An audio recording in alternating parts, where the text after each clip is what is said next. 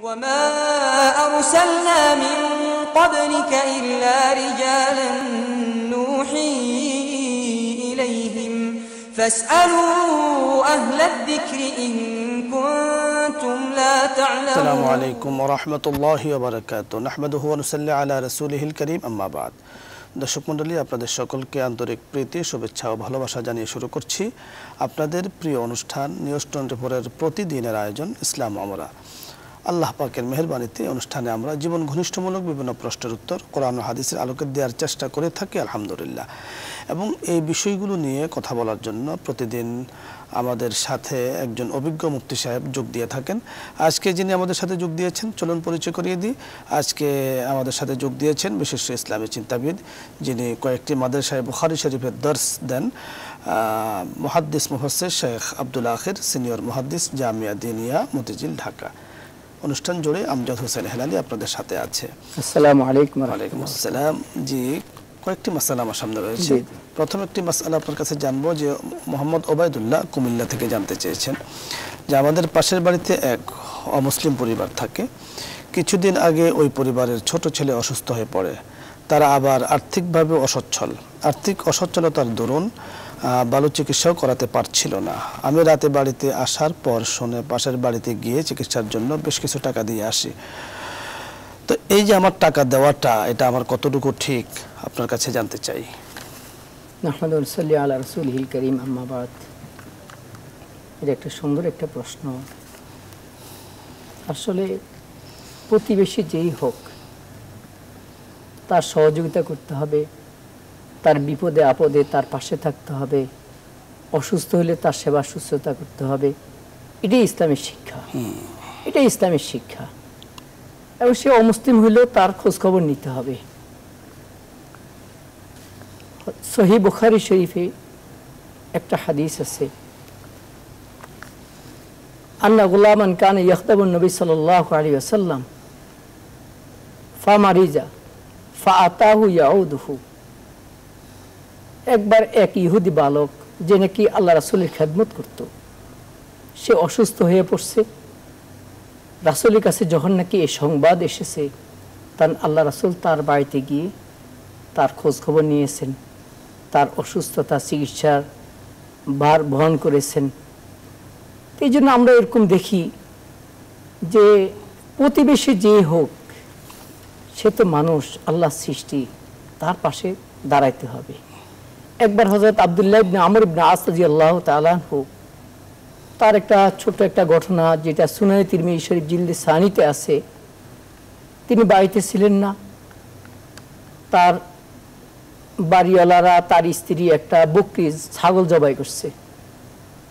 ইতিমধ্যে তিনি বাড়িতে আসছেন। আসার পর যখন শুনলেন যে একটা ছাগল জবাই করা হয়েছে, তখন তিনি জিজ্ঞাসা করেছেন, হাল আহাদাই তুম লিজারিন আল ইহুদি হাল লিজারিন ইহুদি আমার যে ইহুদি প্রতিবেশী তাকেও কি কিছু ছাগলের গোস্ত দিয়েছ অংশ দিয়েছ? অংশ দিয়েছ ফাইনি সামিত রাসূলুল্লাহ সাল্লাল্লাহু আলাইহি ইসলাম ইয়াকুল জিবরাইল ইউসিনি বিল জার হাত্তা জানানতু আন্নাহু সাইয়্যারিসুহু তিনি বলেন আমি তো রাসূল করিম সাল্লাল্লাহু আলাইহি ইসলামের মুখে শুনেছি। আল্লাহ রাসূল বলেছেন যে জিব্রাইল আলাইহিস সালাম প্রায় আমাকে প্রতিবেশীর হকের ব্যাপারে অধিকারের ব্যাপারে অনেক তাকিদ করতেন অনেক তাকিদ করতেন। অনেক জোর দিতেন যে আমরা বুঝতে। পেরেছি যে প্রতিবেশী তো কয়েক ধরনের হয়। একটা হলো আমি যদি মুসলিম আমি তো মুসলিম। প্রতিবেশী যদি মুসলিম হয় তাহলে মুসলিম হিসাবে প্রতিবেশী। আর একটা প্রতিবেশী যদি নন মুসলিম হয় নন মুসলিম হিসাবে আমার তো প্রতিবেশী। আমার তো প্রতিবেশী। এবং আপনি বুখারী শরীফের এবং তিরমিজি শরীফের রেওয়ায়ত দিয়ে আমাদেরকে বুঝিয়ে দিয়েছেন যে প্রতিবেশী যেই হোক না কেন তার সুখে দুঃখে তার পাশে পাশে দাঁড়ানো হবে এবং যে কাজটা তিনি করেছেন এখানে আমাদের ওবায়দুল্লাহ ভাই কুমিল্লা থেকে জানতে চেয়েছেন যে টাকা দিয়েছেন এবং তার খোঁজ নিয়েছেন এবং কাজটা ঠিক করেছেন মহৎ কাজ এবং। মহৎ করেছেন কাজ করেছেন এই ধরনের কাজে এগিয়ে যাওয়া উচিত। কারণ মানুষ মানুষের জন্য মানুষ মানুষের জন্য। অবশ্যই। এবং রাসূল করিম সাল্লাল্লাহু আলাইহি সাল্লামের বুখারী শরীফের যে রেওয়ায়াত আপনি শোনালেন যে গোলামের পাশে গেলেন সাহাবাই কেরামকে বললেন যে তার খোঁজ খবর নাও। ইহুদি। ছিল। নিজেও খোঁজ খবর নিলেন সাহাবাই কেরামকে আদেশও করেছেন খোঁজ খবর নেওয়ার জন্য। কানজুল উম্মালের মধ্যে আছে রাসূল করিম সাল্লাল্লাহু আলাইহি ওয়াসাল্লাম ইরশাদ করেছেন খাইরুন নাস মাইয়ান ফাউন নাস। শ্রেষ্ঠ মানুষ তিনি মানবতার সেবায় সেবক যিনি খুব সুন্দর। পরোপকারী যিনি আসেন তিনি হলেন সর্বশ্রেষ্ঠ মানুষ। শ্রেষ্ঠ মানুষ জি, আমরা বুঝতে পেরেছি। আরেকটি প্রশ্ন মোহাম্মদ আব্দুল্লাহ নারায়ণগঞ্জ থেকে জানতে চেয়েছেন যে কিছুদিন আগে আমাদের পাশের বাড়িতে এক ব্যক্তি মারা গেলে তার নামাজের জানাজা ও কাফন দাফনের পর ইমাম সাহেব উপস্থিত মুসল্লিদেরকে নিয়ে হাত উঠিয়ে দোয়া করলেন। দোয়া শেষে এক ব্যক্তি বলে উঠল, কাফন দাফনের পর দোয়া করা বেদাত। সে অনেক বিশৃঙ্খলাও সৃষ্টি করেছিল। এখন আমার জানার বিষয় হলো, লাশ দাফনের পর দোয়া করা কি বেদাত? দেখুন, একটা হলো জানাজার নামাজের পরে দোয়া করা, আরেকটা হলো লাশ দাফনের পর। জানাজার নামাজের পরে কোনো দোয়া নেই। জানাজার। নামাজটা হলো জি মোহতারাম আপনার কথা শুনব আপনার কাছে আসব আমাদের একজন দর্শক বন্ধু অপেক্ষা করছেন প্রশ্নটা নিয়ে নিই। জি আসসালামু আলাইকুম রহমতুল্লাহ বারাকাতু। দর্শক আপনার নাম বলুন প্রশ্ন করুন। আমার নাম মোহাম্মদ আবু মুসা আমি সিলেট থেকে বলছি। জি বলুন। কুমার আমার প্রশ্ন হয়েছে স্বামী স্ত্রী যখন নামাজ পড়বে জামাতে পড়বে ওই সময় তাকবিরটা কে দেবে? জি চমৎকার প্রশ্ন করেছেন আমরা বুঝতে পেরেছি। স্বামী স্ত্রী যদি জমাতের সাথে নামাজ আদায় করে তাহলে স্বামী একামত দিবে আর স্ত্রী বরাবর পিছনে দাঁড়াবে পাশে না। পেছনে দাঁড়াবে আর স্বামী আপনার একামত দিবে এবং আপনার সেই তাকবির সেই তাকবির দিবে। সেই সবকিছু। আর ইমাম তো স্বামী উনি দিবেন এবং তাকবিরগুলো উনি দিবেন। যে আমরা যে প্রশ্নটি আপনার কাছে জানতে চেয়েছিলাম যে নামাজের জানাজার। সেখানে হলো যে জানাজার নামাজের সাথে সাথে কোনো দোয়া নেই। যেহেতু জানাজার- জানাজার নামাজটাই হলো দোয়া। হ্যাঁ জানাজার নামাজ শেষে দাফন কাফনের পরে লাশ দাফন করার পরে দোয়া করা বেদাত নয় বরং এটা মুস্তাহাব। সুনানে আবুদাউদ শরীফে এখানে একটি বিষয় আমরা পরিষ্কার আপনার কাছে বুঝব সেটা হলো বেদাত বলতে আসলে কি বোঝায়? বেদাত কাকে বলে? বেদাত মানে তো হলো নতুন সৃষ্টি যেটা নাকি আল্লাহ রাসূল থেকে কোনোভাবে আমরা জানতে পারিনি। হুজুরের নিজেও বলেন নাই আমল করিও দেখান নাই বা কোনো সাহাবাই কেরাম ওইটা করেছেন এমন ধরনের আমরা পাই না। তাবেঈন, এসব- জি, তাবে- তাবে তাবেঈন। তাবেঈনরাও এই ধরনের করেছে এটা আমরা পাই না। ওইটাই হলো আপনাকে নতুন নতুন যাকে বলা হয় জি, জি, জি। যেটাকে আসলে শরীয়তের অংশ নয় কিন্তু শরীয়তের শরীয়তের অংশ। অংশ বলে চালিয়ে নিজের পক্ষ থেকে আপনার চালিয়ে দেওয়াকে বেদাত বলে, জি, জি। বেদাত বলে। এখন যখন নাকি লাশটা দাফন হয়ে যায় তখন কিন্তু দোয়া করা এটা মুস্তাহাব। হাদিসে পাকে আছে বিশেষ করে সুনানে আবুদর শরীফে আছে। জি আপনার কথা শুনব। আমাদের দর্শক বন্ধু প্রচুর দর্শক অপেক্ষা করছেন। প্রশ্নটা নিয়ে নিই। জি আসসালামু আলাইকুম রহমতুল্লাহ বারাকাতু। দর্শক আপনার নাম বলুন এবং প্রশ্ন করুন। কি জানতে চান আপনি? আসসালামু আলাইকুম। ওয়ালাইকুম আসসালাম। আমি সিলেটে রাজ মোহাম্মদ ইমরান। জি বলুন। আমি ওই আমরা বন্ধু বন্ধুর বাড়ি ছিল খুলনায় ওনার থেকে আমি দুই হাজার টাকা ধার নিয়েছিলাম। তো আজকে ওনার সাথে যোগাযোগ নাই আমার পাঁচ বছর। টাকাটা কীভাবে পরিশোধ করা যাবে? চমৎকার। চমৎকার প্রশ্ন করেছেন আমরা বুঝতে পেরেছি। আমি বুঝতে পারি মানে একজন থেকে উনি দু হাজার টাকা ধার নিয়েছেন এখন তার সাথে যোগাযোগ নেই। এখন উনি কি করবেন? টাকাটা কি করবেন উনি? কীভাবে পৌঁছাবেন বা কি করবেন উনি? উনি চেষ্টা চালিয়ে যাবেন। ওনার মুখ পর্যন্ত চেষ্টা চালিয়ে যাবেন। এমনকি যদি আপনার এই পর্যন্ত কোনো খোঁজ না পায় তিনি উচিত করে যাবেন। আর যদি দেখা যায় না এই লোকটাকে পাওয়ার কোনো সম্ভাবনা নাই তাহলে তার পক্ষ থেকে যে উনি যার থেকে আপনি টাকা নিয়েছেন তার পক্ষ থেকে তিনি আপনাকে কাউকে দান করে দিবেন। দান করে দান দিবেন। করে দিবেন তার পক্ষ থেকে। হ্যাঁ এখানে একটি বিষয়ে দান করে দিলেন। জি। দান করার পরে ওই লোক আবার আসলো। বলল যে আপনার তো দুই হাজার টাকা আমার থেকে ঋণ নিয়েছেন আমার টাকাটা দিয়ে দেন। তখন কি করবেন? তাকে বলি ভাই আমি তো আপনার পক্ষ থেকে দান করেছি। ইত্যাদি। এখন সে যদি আপনার এটা মাইনা নেয় ভালো আর নয়তো সে তার টাকা তাকে পরিশোধ করে দিতে হবে ও দু হাজার টাকা তাকে দিয়ে দিতে হবে। এটাই সবচেয়ে ভালো হলো সেটা তার কাছে নিজে রেখে দিবে এমনকি তার পরিবার পরিজন কাছে সে উচিত করে যাবে যে আমি তো চেষ্টা করতেছি। আমার এতেকাল পরও যদি তোমরা যদি তাকে যদি পাও ভালো কথা তাকে দিয়ে দিবে। আর যদি না পাও তাহলে তার পক্ষ থেকে তোমরা কাউকে করে দিবে, সৎকার করে দিবে বুঝতে পেরেছি।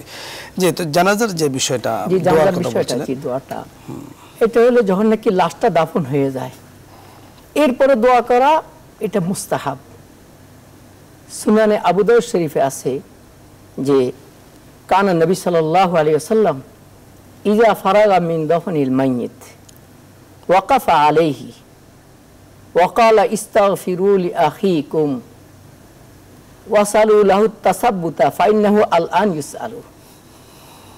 যখন নাকি জানাজার নামাজের পড়ার পরে, লাশ দাফন করার পরে আল্লাহ রাসূল যখন নাকি ওই জানাজা উপস্থিত থাকতেন জি আমরা এখানে এখানে রাখলাম। আমরা একজন দর্শক বন্ধু প্রশ্নটা নিয়ে নিই জি আসসালামু আলাইকুম রহমতুল্লাহ বারাকাতু। দর্শক আপনার নাম বলুন এবং কি জানতে চান? আসসালামু আলাইকুম। ওয়ালাইকুম আসসালাম। আমার আম্মার বয়স সত্তরের উপরে। আহ, উনি একটু বেশি অসুস্থ ডায়াবেটিস আছে।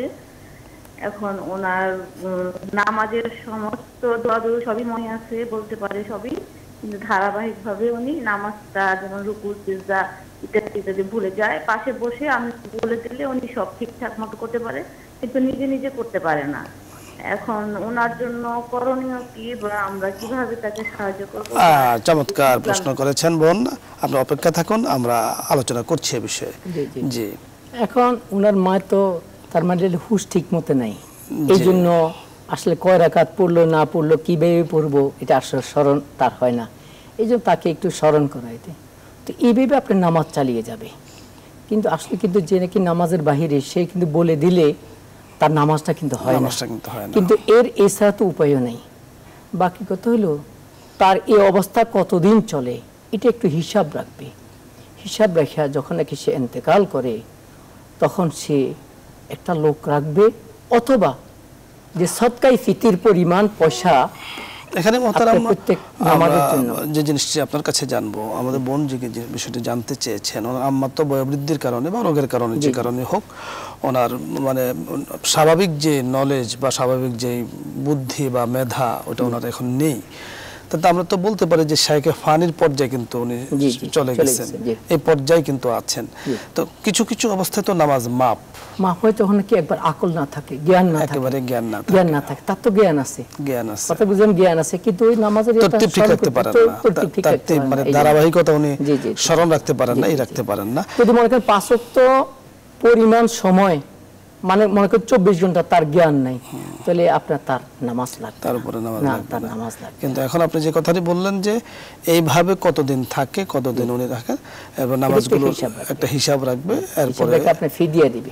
নামাজের ফিদিয়া ফিদিয়া। দেওয়া দেওয়াটা ভালো জি জি আর ফি দেওয়াটা হলো প্রত্যেক নামাজের জন্য আমরা যে রমজানের সৎকায় ফিতির বা ফিতরা দিই এক ফিতরা পরিমাণ প্রত্যেক নামাজের জন্য প্রত্যেক নামাজের জন্য তার মানে দৈনিক পাঁচ ওয়াক্ত নামাজ। পাঁচ ওয়াক্ত ভিতির সহকারে ছয় ছয় ওয়াক্ত, ওয়াক্ত। তাহলে ছয়টা ফিতর দিতে হবে দৈনিক। ফিতর দিতে হবে। আরেকটি বিষয় মানে আমরা তো শুয়ে শুয়ে তো নামাজ পড়ার একটা বিধান আপনারা বলে থাকেন বা আমরা কোরআন হাদিসে হাদিসের মধ্যে পেয়ে থাকি। তো সেটাও হলো ওই পর্যায়ে যখন তার জ্ঞান আছে। জ্ঞান আছে। ইশারা করতে পারে এবং সে ইশারা করে নামাজের সংখ্যা তরতিব কারাত এগুলো মনে মনে সে ঠিকই পড়তে পারে। পড়তে পারে। তখন মেধা তার আছে। বুদ্ধিও আছে জ্ঞান আছে তখন তো তার উপরে নামাজ মাপ না নামাজ পড়তেই হবে। কিন্তু নামাজ মাপ হলো ওই পর্যায়ে যখন তার একেবারে একেবারে জ্ঞান না থাকে।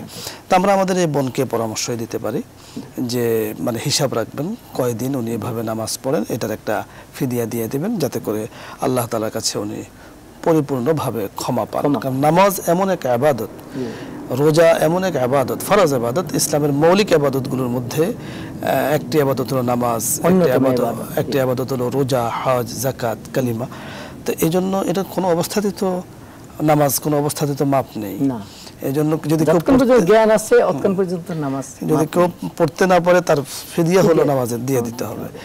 জি তো জানাজার যে বিষয়টি আপনি আলোচনা করছিলেন যে সেটা হলো মনে করেন জি মোহতারাম হ্যাঁ আমরা এখন একটা ব্রেকে যাচ্ছি দর্শক মণ্ডলী এখন আমরা আজানের বিরতিতে যাচ্ছি বিরতির পর আবার ফিরে আসবো সঙ্গেই থাকুন أرسلنا من قبلك إلا رجالا نوحي إليهم فاسألوا أهل الذكر إن كنتم لا تعلمون أرسلنا من قبلك إلا رجالا نوحي إليهم فاسألوا أهل الذكر إن كنتم لا تعلمون দর্শক মণ্ডলী আসরের আজানের নাম- আজানের পর আমরা ফিরে এসেছি আপনাদের মাঝে আমরা উম, গুরুত্বপূর্ণ এক মাসআলা নিয়ে আলোচনা করছিলাম যে মোহতারাম যে আহ, জানাজার নামাজের পরে দোয়া সম্পর্কে আপনি বলছিলেন জি জানাজার নামাজের সাথে সাথে দোয়া করা যাবে না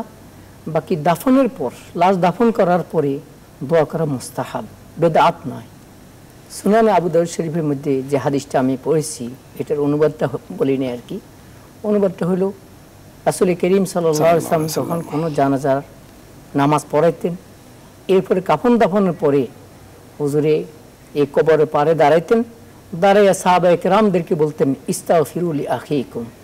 তোমাদের এই মৃত ভাইদের জন্য মৃত ভাইয়ের জন্য তোমরা ক্ষমা প্রার্থনা করো। ওয়াসালু লাহু তাসাব্বুতা। এবং সে যাতে কালিমায় তাওহিদের উপরে অটল অবিচল থাকতে পারে, তার জন্য তোমরা আল্লাহর দরবারে দরখাস্ত করো। ফাইনাহু আল আন ইউস আলু তার কারণ তাকে তো এখনই ফেরেশতাদের পক্ষ থেকে প্রশ্ন করা হবে। এইভাবে আমরা হাদিসের মধ্যে পাই, আল্লাহ রাসুলের আমল সাহাবা ইকরামের আমল, যে আপনার লাশ দাফনের পরে ক্যাবলামুখী হয়ে তারপর কি করবে? দোয়া করবে। দোয়া করবে। দোয়া করবে। এই দোয়ার মধ্যে কি হাত তোলা জরুরি? হাত দোয়া হাত তুলে দোয়া হাত। তোলা হাত তুলে করেছেন। হাত তোলা ছাড়াও যদি কেউ দোয়া করে করতে পারে, করতে পারে। সমস্যা নেই। না করলে গুনাহ হবে না। করা হলে মুস্তাহাব। জি আরেকটি বিষয় আমরা এর সাথে যুক্ত করে আপনার কাছে জানব যে আমরা যে কবর জিয়ারত করি কবর জিয়ারতের পরে অনেকে হাত তুলে দোয়া করেন বা অনেকে দোয়া করেন না। বিষয়টি আসলে কোনটি সঠিক? দোনটাই ঠিক আছে। দুটোটাই ঠিক আছে। ঠিক আছে। বাকি কথা হলো হাত তুলবে পশ্চিম কেবলামুখী কেবলামুখী হয়ে হাত লাশের দিকে না। কারণ আমি চাবো তো আল্লাহর দরবারে। কোন বন্দার। কাবাতুল্লাহর দিকে মুখ করে এসে দোয়া করবে। দোয়া করব। জি। আর যদি এমনি দোয়া করে হাত না উঠে সেটারও সুযোগ আছে অসুবিধা নেই। জি মুফতি সাহেব আপনি চমৎকার আলোচনা করেছেন, আমাদের প্রচুর দর্শক অপেক্ষা করছেন। ওনাদের প্রশ্নগুলো আমরা দিতে পারিনি ইনশাল্লাহ সামনে নিয়ে আপনার কাছে বা আরও মুফতি সাহেবরা আসবেন, ওনাদের থেকে জেনে নিব। দর্শক মণ্ডলী, আমরা দুঃখ প্রকাশ করছি যে আপনারা অপেক্ষা করছেন, যোগাযোগ করার চেষ্টা করেন। আসলে আমরা আপনাদের প্রশ্নগুলো নিতে পারি না ইনশাল্লাহ আমরা আশাবাদ ব্যক্ত করছি। আপনারাও এরকম মানে আশা আশাহান্বিত হবেন না যে আমরা প্রশ্নগুলো করতে পারলাম না। অবশ্যই অপেক্ষায় থাকবেন, এক সময় এক সময় ইনশাল্লাহ আমরা আপনাদের প্রশ্নগুলো নেব এবং উত্তর দেওয়ার চেষ্টা করব মহান আল্লাহ তালার কাছে দোয়া করি আল্লাহ তালা যেন আমাদের সকলকে দিন ও ইসলাম মোতাবেক জীবন পরিচালনা করার তৌফিক দান করেন আজকে আর নয় সকলকে ধন্যবাদ জ্ঞাপন করছি আল্লাহ আমিন ربنا ظلمنا أنفسنا وإن لم تغفر لنا وترحمنا لنكونن من الخاسرين আল্লাহ رب ارحمهما كما ربياني صغيرا رب ارحمهما كما ربياني صغيرا আল্লাহ رب العالمين أحكم الحاكمين আয় আল্লাহ আমরা কতিপয় গুণাগার বান্দারা আপনার শাহী দরবারে হাত তুলেছি জীবনের গুণাগুলো স্বীকার করে আল্লাহ আপনার দরবারে হাত তুলছি আয় আল্লাহ মেহরবানি করে আমাদের জিন্দগির গুণাগুলো আপনি মাফ করে দেন আল্লাহ রাব্বুল আলামিন আমাদের আদরের আব্বা আম্মা কবরের সহিত আছেন গো মাওলা। আল্লাহ কবরের জিন্দগি কত কঠিন। আল্লাহ আপনি ছাড়া আর কেউ জানে না। কোরআন, হাদিসের মাধ্যমে কিছুটা আমরা জানতে পেরেছি। কবরের জীবন বড় কঠিন। আয় আল্লাহ, আমরা দোয়া করছি। নিউজ টোয়েন্টি ফোরের এই রুমে বসে দোয়া করছি। মেহরবানি করে তাদেরকে আপনি মাফ করে দেন। আল্লাহ জান্নাতের সাথে তাম যোগাযোগগুলোকে মেহরবানি করে আপনি চালু করে দেন। জাহান্নামের সাথে তাম যোগাযোগগুলোকে মেহরবানি করে আপনি বন্ধ করে দেন। আল্লাহ আব্বা আম্মা যাদের বেঁচে আছেন বড় নেয়ামত। আমাদের যাদের বেঁচে নাই আব্বা বলার মতো ব্যবস্থা নাই। আম্মা বলার মতো ব্যবস্থা নাই। ওগো আল্লাহ মেহরবানি করে আমাদের সকলের উপরে খায়ের বারাকাত দান করেন। যাদের আব্বা আম্মা বেঁচে আছেন তাদেরকে আপনি নেক হায়াত দান করেন। হায়াতে আপনি বরকত দান করেন। বাড়িতে গেলে আব্বা বলে যখন আমরা ডাকি প্রাণটা ভরে যায় আম্মা বলে যখন ডাকি প্রাণটা ভরে যায় ওই আব্বা আম্মাদেরকে আপনি সুস্থ জীবন দান করেন সুন্দরভাবে নামাজ পড়তে পারেন সেই তৌফিক দান করেন আমাদের এক বন্ধু আছে চেয়েছেন আম্মা জানের জন্য আল্লাহ তার আম্মাকে আপনি সুস্থতা দান করেন আল্লাহ আপনার হাবিব রুসিল আমাদের দোয়াকে কবুল করে নেন আমিন ইয়া রাব্বাল আলামিন برحمتك يا ارحم الراحمين ما من قبلك إلا رجالا نوحي إليهم. فاسألوا أهل الذكر إن كنتم لا تعلمون.